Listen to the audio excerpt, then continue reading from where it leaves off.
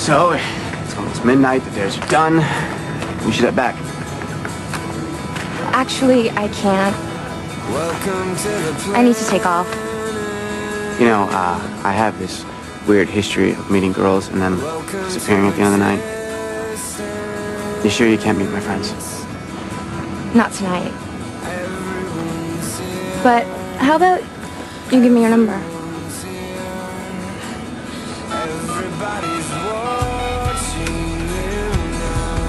Can I have yours too?